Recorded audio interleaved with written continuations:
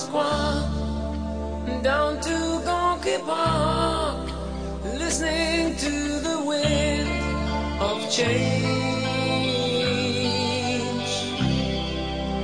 August summer night, soldiers passing by, listening to the wind of change.